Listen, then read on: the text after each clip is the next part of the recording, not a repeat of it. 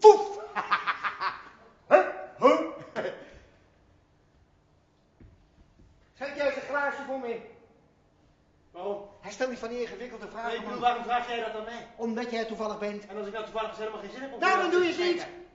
Dan doe je het niet, je bent me niks verplicht. Leek me eens wel aardig hoor, als we de rol eens een keer zouden omdraaien. Dat ik niet de hele tijd een gast hier hoef te spelen.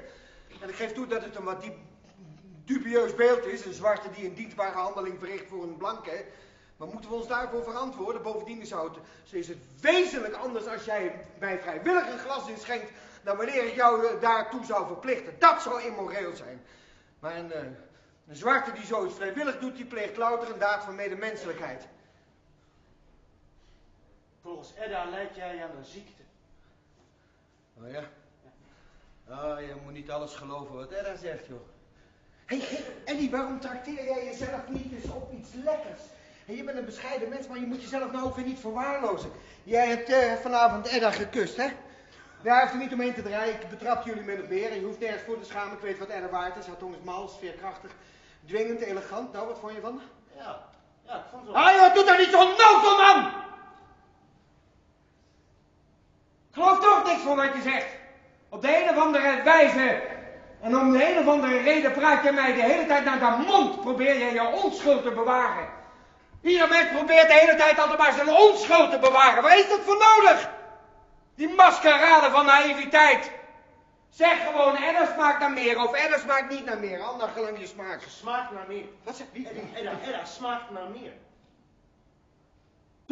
Ik geloof het niet.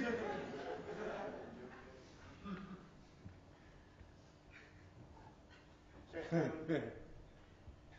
hoort dit allemaal nog bij dat televisiespelletje? Ja, Jezus Christus, man, hou eens op, zeg. Je kunt wel aan alles gaan twijfelen. We moeten er ergens een ankerplaats hebben voor onze gevoelens, onze gedachten. En de een noemt dat God, de ander die noemt dat eh, eh, eh, eh, een geloof in de liefde, eh, kunst, wetenschap. Het maakt niet uit als, als er maar iets, als als als maar... Zeg, Eddie, vind jij mij cynisch? Hoezo? Ja, ik ben soms zo bang dat ik... En dat is heel belangrijk voor me. Als zij weg is, dan val ik in een zwart gat. joh. Zal ik dan toch niet liever gaan? Hij houdt toch eens een keer op, man. Houd toch eens een keer op. We zitten allebei in hetzelfde schuitje. We doen dit voor Edda. We zijn als was in haar handen. En ik bid bij God dat ze snel terugkomt. Sorry dat ik me zo laat kennen, maar ik, eh, soms weet ik het ook allemaal niet meer. Ze zit daar. Hè? Wat? Edda. Edda zit daar. Hoe weet jij dat? Omdat ik er zag toen ik uit de badkamer kwam. Heeft ze jou gezien?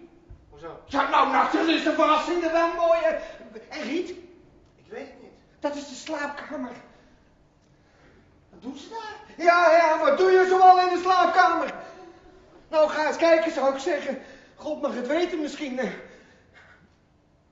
Ja, Wat denk je, denk je? Nou, ik heb geen behoefte om mij ervan te vergewissen.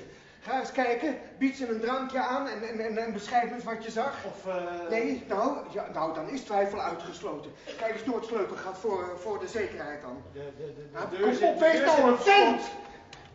Je kunt toch iets zien, je moet toch iets kunnen zien? Nou, wat zie je, wat zie je? Edda of Riet of, of wat? Of, of zie je Ja, en ik zie- Wat zie je? Wat zie je zie iets, iets, Wat zie je nou? Ik niks. Dan heeft ze de trouwje voor het sleutelgat gehangen, die vrouw gaat er weg.